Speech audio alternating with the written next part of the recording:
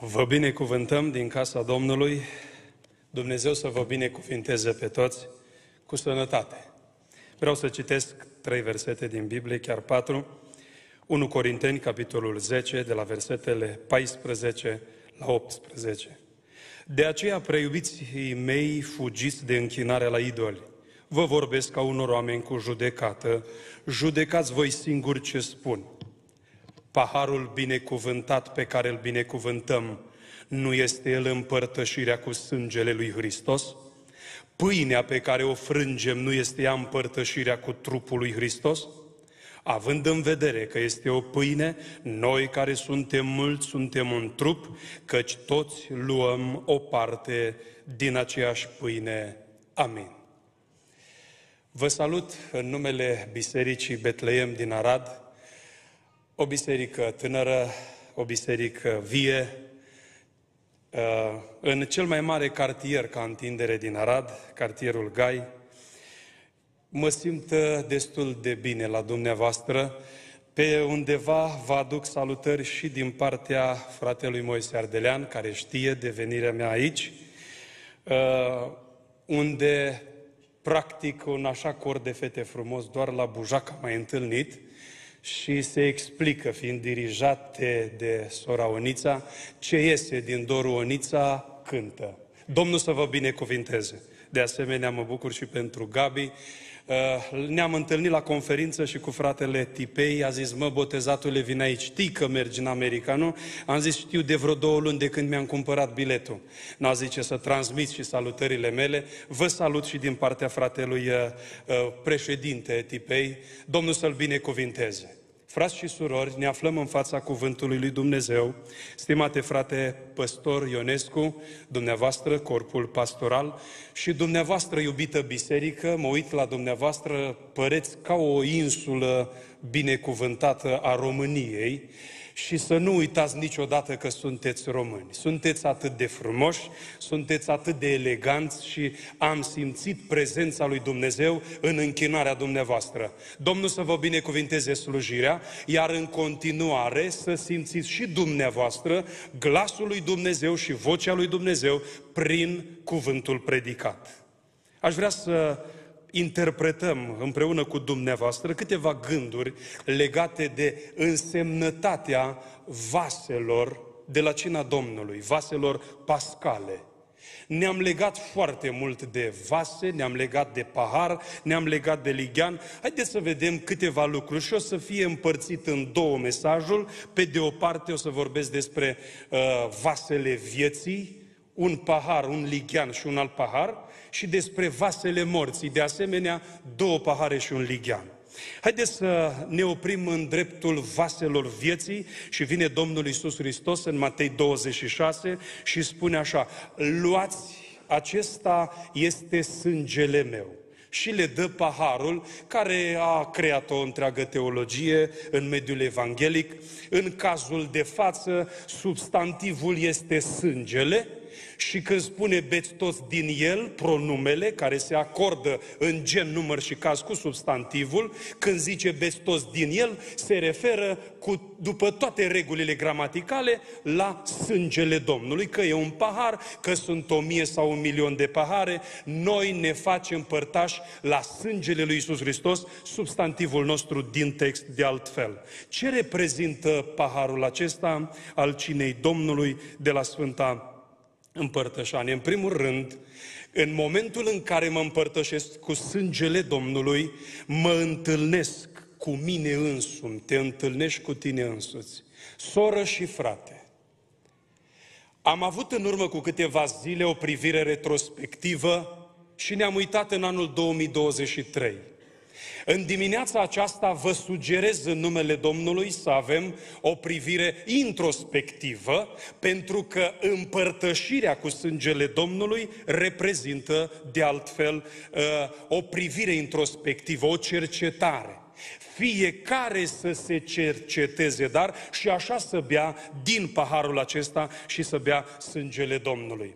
Uh, este foarte adevărat că dacă uh, ar fi să se discute un subiect, fiecare dintre noi avem opinii, avem păreri, dar când vine vorba de cina Domnului, Dumnezeu ne sugerează prin cuvânt, în 1 Corinteni, fiecare să se cerceteze pe sine însuși. Mă uit în Biblie, mă uit în Cuvântul lui Dumnezeu, îmi scanez vorbirea, privirea, gândirea la cina Domnului în momentul în care întind mâna și iau paharul, eu de fapt ă, îmi fac o foarte mare cercetare pentru că eu intru în părtășie cu Dumnezeu.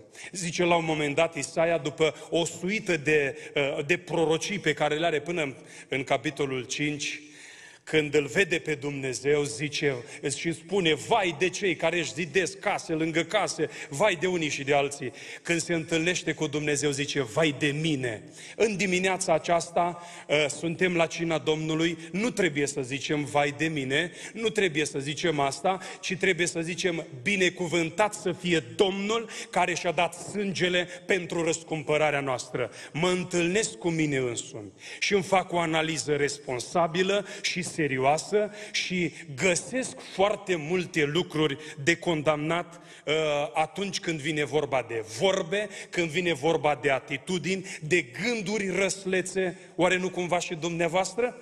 Paharul acesta mă întâlnește cu mine însumi și tare bine ar fi să ajungem la concluzia lui Iov foarte greu se mai ajunge astăzi la astfel de concluzii. Mi-e scârbă de mine și mă pocăiesc în sac și cenușă. Ce bine ne șade îngenunchiați în fața crucii lui Isus Hristos. În dimineața aceasta vreau ca puterea sângelui lui Isus Hristos să aducă iertare. Eu știu că dumneavoastră sunteți oameni responsabili. Unii dintre dumneavoastră veniți în țară și sunteți șocați cât de tare s-au deviat în unele aspecte ale pocăinței în țară și noi suntem uimiți într-un mod cel mai pozitiv de modul în care ați rămas lângă Dumnezeu departe de casă. Frați și surori, în al doilea rând, paharul acesta te întâlnești cu Dumnezeu.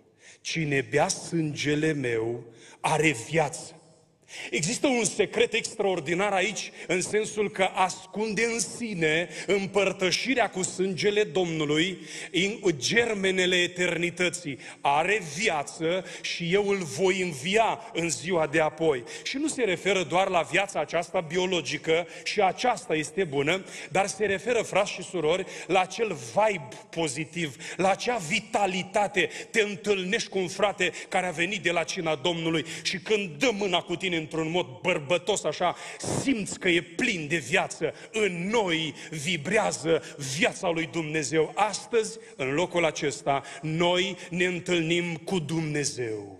Și zice Domnul Isus Hristos, este o dezbatere teologică grea pe care eu personal o înțeleg foarte puțin, permițându-ne Dumnezeu prin credință să ingerăm bucățica de la cina Domnului în noi. Ea intră în organismul nostru. Vă dați seama dumneavoastră ce implicații dumnezeiești are. Este ceva extraordinar. Stă Dumnezeu de vorbă cu tine azi la cina Domnului.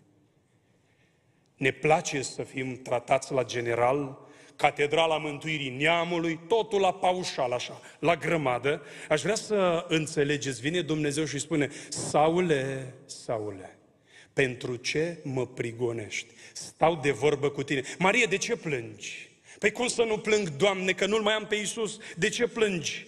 Tomo, vino aici! Te întâlnești cu Dumnezeu.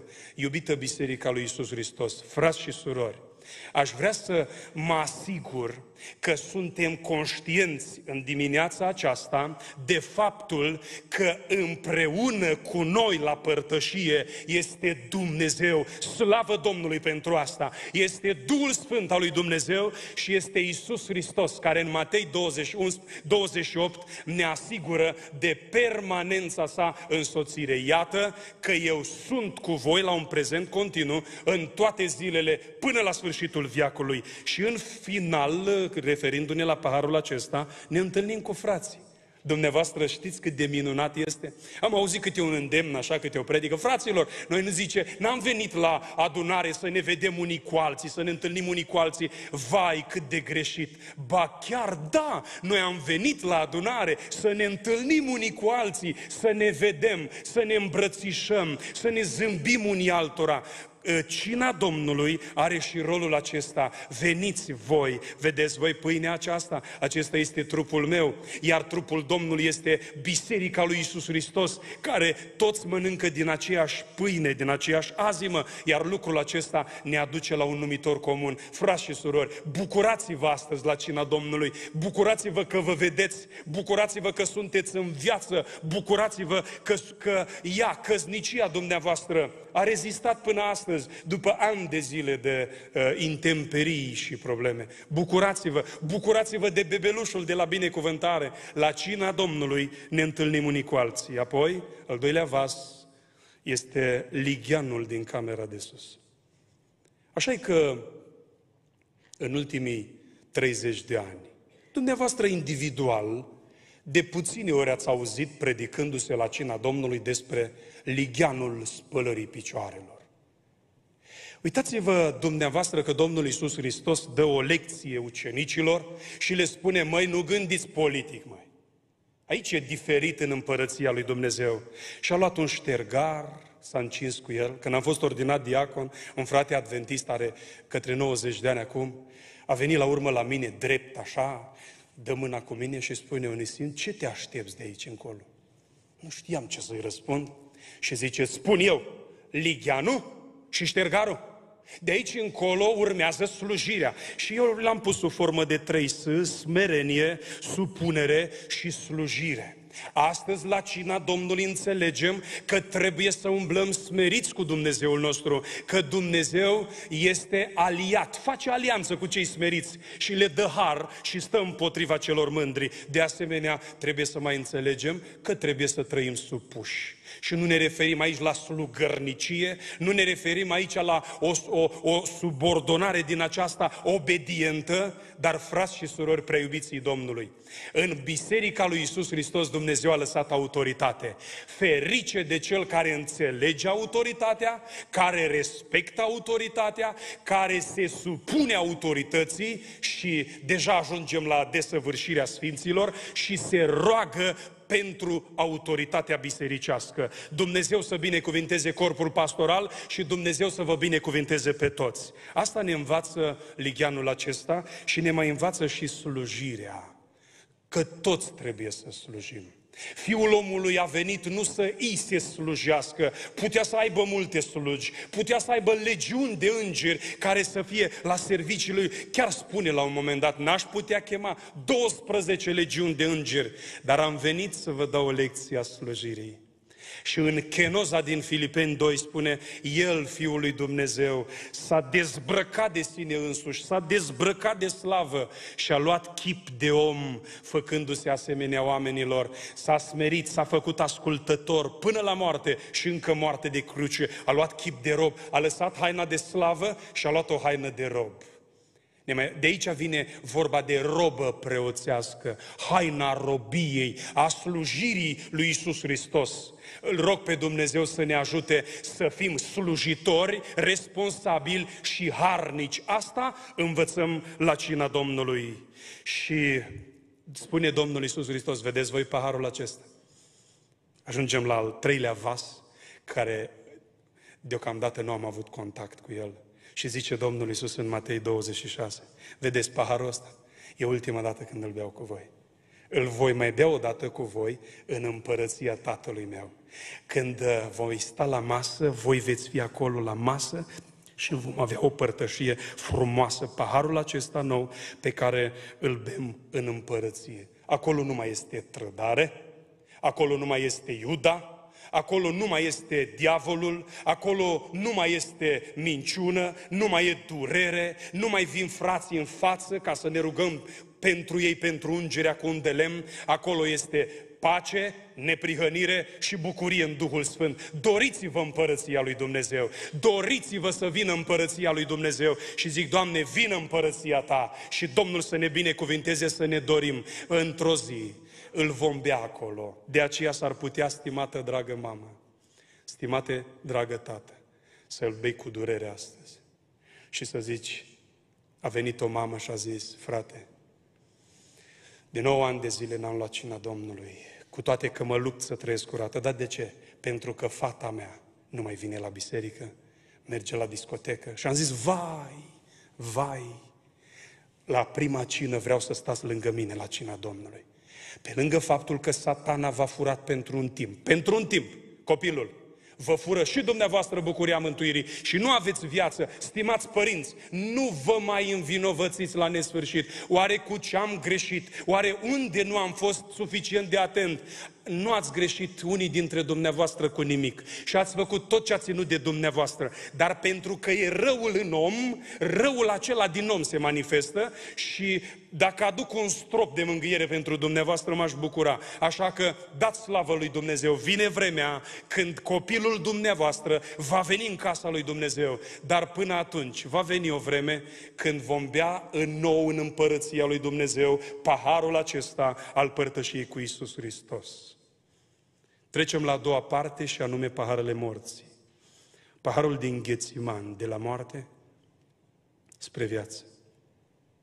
Stătea Domnul Iisus Hristos cu paharul acela și spunea, Tată, depărtează de la mine paharul acesta. Paharul din Ghețimani e cupa aceea cu blestemul păcatului omenirii. Depărtează de la mine, după unele interpretări, uh, inima lui Iisus Hristos ar fi fost, Tată, am predicat la destul de puțini oameni Evanghelia, unii dintre ei sunt anxioși și fricoși, nu se poate depărta măcar o lună sau două sau un an ca să mai predic Evanghelia, dar uh, uh, altă interpretare se manifestă umanitatea lui Isus Hristos care simte uh, pe undeva slăbiciunea uh, de, de, despărțirii de Tatăl pentru un timp, pentru că dacă Tatăl nu se detașa de Fiul, de omul Isus Hristos, nu putea să moară, de aceea s-a detașat pentru o clipă clipă ca să poată să moară Domnul Isus Hristos și să ducă la desăvârșire planul acesta. Paharul din Ghețimani, frați și surori, pe mine mă responsabilizează foarte mult. Ghețimani vine de la Gacmani. Locul acela era un teasc unde veneau măslinele și erau presate, puneau și curgea unde lemnul acela extraverhin. Aș vrea să înțelegeți un lucru în dimineața aceasta. Înainte de a lua orice decizie, înainte de a, uh, a duce la îndeplinire hotărârea pe care ai luat-o, domnule, gata, săptămâna aceasta, urmează confruntarea, o să-mi spun tot ce am de spus, aduți aminte un lucru. Înainte să păcătuiești, înainte să uh, bei alcool, înainte să faci orice, aduți aminte că Domnul Isus Hristos a fost zdrobit pentru păcatele tale și pentru păcatele mele. Uh, la un moment dat, uh, El a plătit prețul pentru păcatele mele și spunea cineva, fraților, nu vă mai fie teamă de diavolul, că Iisus Hristos a plătit cu jertfa Lui, a plătit păcatele noastre. Dragilor, unde vedeți dumneavoastră în univers ca Dumnezeu să aibă vreun cent datorie la satana? Nu a trebuit să plătească Dumnezeu nimic, nici Isus Hristos, ci a plătit, a trebuit să satisfacă dreptatea lui Dumnezeu. Și acolo în Ghețiman ne aducem aminte de paharul acela care a păsat pe Isus Hristos, care a împlinit dreptatea lui Dumnezeu, pentru că plata păcatului este moartea. Domnișoare și domnișori, fete și băieți, frați și surori, înainte de a păcătui, înainte de a deschide gura și a minți, aduți aminte că Isus Hristos a murit murit pentru păcatele tale. Asta mă responsabilizează, îmi crapă obrazul de rușine să păcătuiesc. De aceea, s-ar putea în dimineața asta să fii aici și să fii cu complexe, să fii cu durere, să fii cu alunecările tale, cu eșecurile tale. Iisus Hristos are milă de noi, își aduce aminte de slăbiciunile noastre și câtă vreme bate inima într-un om și Hristos vede regrete, aduce iertare în, în sângele lui Isus Hristos care ne curățește de orice întinăciune. Fraților, este vreo excepție aici? De orice întinăciune. Crede Biserica Elim că sângele Domnului ne curățește de orice întinăciune? Slăvi să fie Domnul pentru paharul din Ghețimani. Paharul acesta care aduce ispășire. El, marele preot al mărturisirii noastre, a intrat în templu, în Sfânta Sfintelor, nu într-un templu făcut de mâini omenești, ci în templul lui Dumnezeu, nu cu sângele taurilor și al țapilor, ci cu propriul sânge, ca să ne răscumpere și să-și aleagă un popor și acum fiți atenți, nu să se bată între ei, nu să se invidieze între ei, ci să fie plin de râvnă pentru fapte bune. Știți ce mă motivează pe mine? M-a întrebat la un podcast un interlocutor. De unde îți găsești energia și motivația de a merge mai departe? Care este factorul motivator? Ce ți-a promis Dumnezeu? Și am spus, dacă până la sfârșitul vieții Dumnezeu nu mai dă nimic decât câteva tone de oxigen ca să pot trăi și apă și dacă pot să mănânc ceva, mi-a dat totul în avans. A făcut totul pentru mine. Dacă voi mai trăi încă 400 de ani de aici încolo, tot nu reușesc să plătesc nici măcar un milimetru din ceea ce a făcut Isus Hristos pentru mine. Paharul din Ghețiman ne responsabilizează apoi, înainte de paharul acesta. A fost un lighean blestemat în care s-ar putea să te scalzi. Ligheanul de la tronul lui Pilat îl judecă pe Hristos, intră înăuntru, vine înapoi, nevasta lui îl înștiințează ă, că nu e bine, nu e așa nevinovat după cum vă imaginați dumneavoastră Pilat. A avut multe repere. Să uita la Hristos, nu vedea nimic de condamnat în el, nu vedea nimic vrednic de moarte, iar intră în sala de judecată, iar iese înapoi, iar intră, iar iese în cele din urmă, zice, dați-mi un lighean. A luat ligheanul în fața lor, și s-a spălat pe mâini. Eu mă găsesc nevinovat față de neprihănitul acesta. Virgulă. Și după ce l-au dat să-l bată cu nuiele. Păi, domnul Pilat, dacă nu găsești nicio vină de a condamna, pentru ce să-l mai bată cu nuiele? Frați și surori, s-ar putea, la un moment dat în viață, și dumneavoastră, să vă fi spălat pe mâini în ligheanul lui Pilat ce părere ai despre fratele? Nu trebuie să zici nimic rău. Trebuie să faci doar atât. Și deja te-ai spălat pe mâini în ligheanul lui Pilat. Mă sună un netrebnic și îmi bat jocorește unul dintre colegii mei de slujire, în ultimul hal. Și în cele din urmă i-am spus așa, dragul meu, te cunosc de o săptămână, și n-am găsit în tine niciun motiv vrednic de încredere. Mi-ai lăsat impresia că ești un om foarte de, de neîncredere. Nu am bază în tine deloc. Iar pe omul pe care tu mi-l bat jocorești este colegul meu de slujire și îl cunosc de 20 de ani. Prin urmare, cu eleganță îți închid telefonul în nas și niciodată în viața ta să nu-ți mai permiți să-mi bat jocorești slujitorii. Și am închis telefonul. Până în ziua de azi n-am mai vorbit cu el. Frați și surori, era o maximă extraordinară. Îmi place să citesc maxime decât să citesc minime și după aia să le prelucrez. Mai bine maxima, că e gândită de mai mulți. Și spune așa, nu-mi spune că cineva m-a bat jocorit în lipsa mea, ci răspundem la o întrebare. Cum mi-ai luat apărarea? Uh, mă, uite-te despre prietenul tău, ia că uh, știi ceva, nu-i treaba mea, ba e treaba mea, pentru că este omul pentru care a murit Hristos.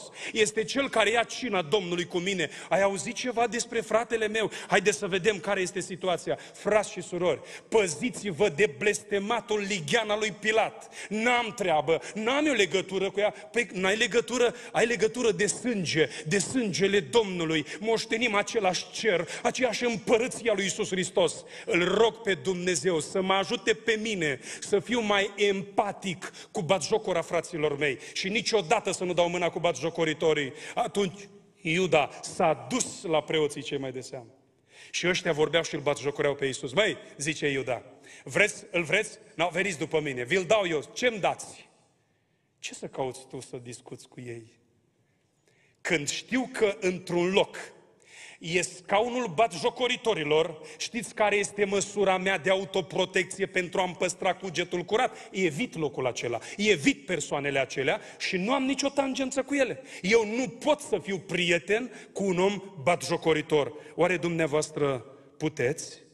Știau că din invidie l-au dat în mâinile lui. Din invidie. N-am, nu-i treaba mea. Păziți-vă de ligheanul lui Pilat. Dați-l deoparte este ligianul indiferenței, al ignoranței și în cele din urmă al unei ipocrizii cu normă întreagă. Păziți-vă de ipocrizia aceasta și uh, intrați, spune Sfântul Apostol Pavel și îl rog pe Dumnezeu să mă ajute să fiu un păstor ca el. Este cu, cumva posibil ca unul dintre voi să cadă și eu să nu ard. Păi ard pentru oițele mele, mă bag în foc cineva dacă, uh, dacă le lovește, mă bat cu lupii, mă lupt cu fiarele ghearele din Efes și îmi scot din ghearele morții pe cei pe care Dumnezeu mi-a încredințat. Am avut situația aceasta, un om care s-a botezat și a făcut foarte multă rușine bisericii, multă. Și a murit. Și au venit frații și au spus, ce faci acum? Și am zis, ce fac? Voi sta de vorbă cu familia și voi întreba câte zile de privei vor să facă. Dacă îmi zice cinci zile de privei, în fiecare seară de privei voi fi acolo și voi predica Evanghelia. În ziua mormântării, voi merge la mormântare, voi predica Evanghelia, mă voi pune pe marginea gropii și nu voi pleca de acolo până când groparii nu aruncă ultima lopată de pământ. Și mă voi întreba, ce mai puteam face pentru el și n-am făcut? Sunt ai noștri, frați și surori. Ni asumăm până la moarte, ni asumăm până la capăt. Sunt oamenii pentru care a murit Isus Hristos. Dacă dumneavoastră ați ști cât de greu renunță Dumnezeu la un om pe care s-ar putea tu să nu dai nici doi bani. Ba mai și folosim apelative, gunoiul ăla sau ăla sau altul. Și Iisus Hristos îl iubește și inima lui vibrează pentru salvarea lui. Și ultimul vas și închei paharul dracilor. Într-o țară de pe alt continent, am avut o paranteză la cina Domnului despre paharul dracilor. Și m-am dus acasă. Știți ce îmi zice gazda? Așa zâmbitor, happy. Frate, zice, am luat un bax de bere special că știam că veniți dumneavoastră și la noi e tare cald. Și am avut o discuție cu el care s-a terminat în lacrimi. Și pentru el și pentru mine. Le-a aruncat, le-a dus la container. Dar știți ce a zis fratele ăsta? M-a șocat. Și era în urmă cu mulți ani. Vreo șapte ani în urmă. A zis, știți care e durerea mea cea mai mare? Că surorile au grup pe WhatsApp și în fiecare seară ies la terasă la bere. Frați și surori, noi care am început în Duhul, ce facem acum? Terminăm în firea pământească? Aproape că nu există conferință de tineret și de familii, la care să nu primesc întrebarea asta. Da, un pic de șampanie la ziua, un pic de bere și dacă e cu sau fără alcool. Doamne, ajută-ne să ne aducem aminte de ziua în care ne-am pocăit. Când v-ați pocăit, cu ce v-ați lăudat? Mai elibera Hristos de țigară, de băutură, de păcat, de alte lucruri. Și acum ce facem? Le luăm înapoi?